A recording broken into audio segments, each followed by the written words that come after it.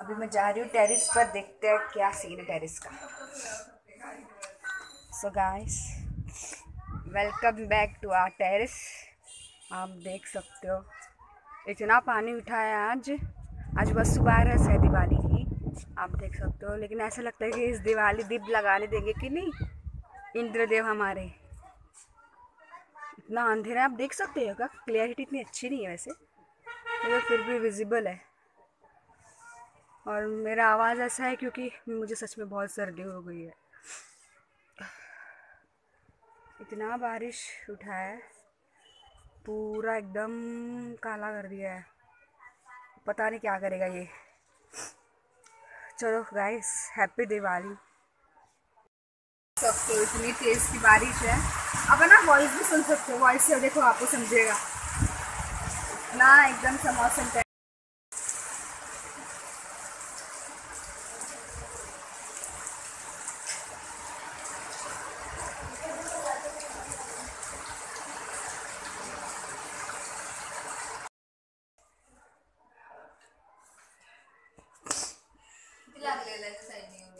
So finally guys Diwali की preparation चल रही है और मम्मी कुछ माला वगैरह बना रही थी।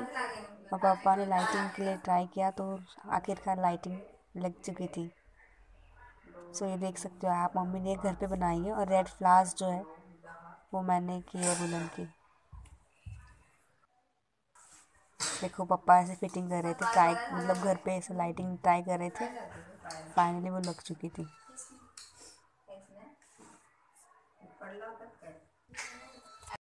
बंदा देख पा रहे हो?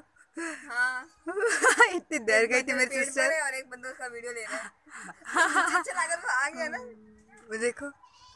वहाँ पे है बंदा देख भी रहा है और यहीं पे। चलो गाइस बाय अब मैं जाती हूँ नीचे। देखो कैसे एकदम देख रहा है। चल। क्या होगा?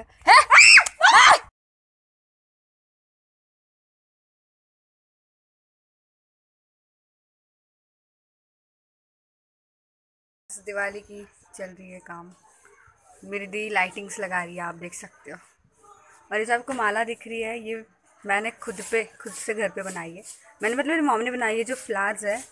ये वुलन के है, देखो होममेड है वुलन के है। मैंने खुद से बनाए है फ्लावर्स और जो लीव्स थे थे वेस्ट आउट ऑफ़ बेस्ट बोलते हैं, उस तरह से हमने ये माला बनाई है। बहुत ही प्यारी लग रही है, देखो, इस तरफ़ से देखो। देखो। अच्छा लग रहा है नेचुरल है। लोग भी पूछ रहे हैं, मुझे एकदम नेचुरल सा फ्लावर दिख रहा है। प्यारा सा। Happy Diwali. This is a rangoli made by me and my sister. Simple dimple.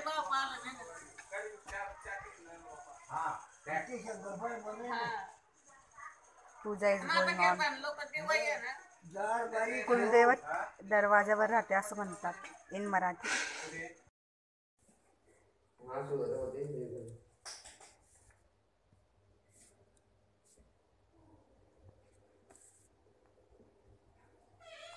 so guys Dhanteras की हमारी पूजा इस तरह से कुबेर जी है, मम्मी ने मटकी ली